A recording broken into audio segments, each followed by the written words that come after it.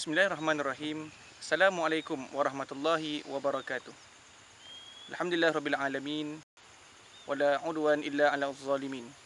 Asyhadu an la ilaha illallah wa asyhadu anna Muhammadan abduhu wa rasuluh.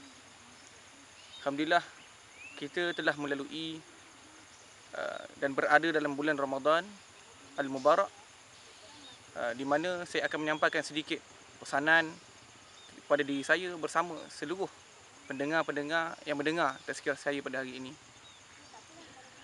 Dalam uh, hadis Nabi sallallahu alaihi wasallam al-awwaluhu rahmah wa awsatuhu maghfirah wal akhiruhu itqum minan nar.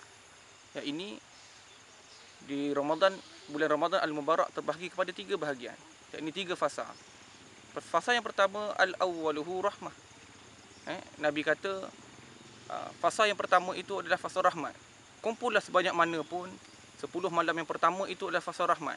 Allah akan memberi rahmat kepada orang-orang Islam yang bertakwa kepada Allah Subhanahu wa taala dengan rahmat. Dan yang kedua wa awsatuhu maghfirah. 10 malam pertengahan Allah memberikan keampunan kepada mereka-mereka yang bertaubat kepada Allah Subhanahu wa taala. Dan pada masa itu 10 malam pertengahan manusia-manusia yang, ber, yang beriman kepada Allah Subhanahu Wa Taala perlu merebut peluang ini untuk merebut keampunan dan maghfirah daripada Allah Subhanahu Wa Taala. Seperti dalam firman Allah Subhanahu Wa Taala, "A'udzubillahi minasyaitonirrajim." وسارعوا wa مغفرة arduha ربكم وجنة أرضها السماوات والأرض وعدة lil muttaqin. الله azim. Allah kata "Wasari'u ila maghfiratin من rabbikum." dan berebutlah dan bersegeralah kepada keampunan Tuhanmu wa jannatin arduhas samawati wal ard uiddat lil muttaqin. Di mana syurga disediakan seluas-luasnya kepada orang-orang yang bertakwa seluas langit dan bumi.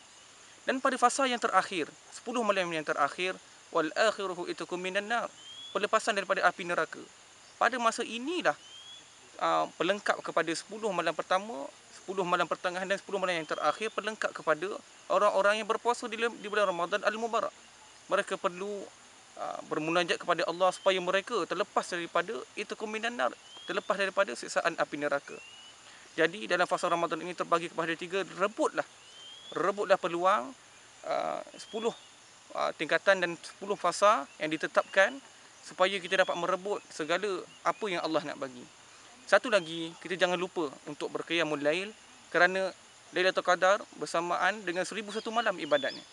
Jadi jangan lupa saat-saat yang begitu indah ini perlu dikecapi dan perlu diambil dan rebut peluang ini oleh uh, seluruh masyarakat yang beragama Islam.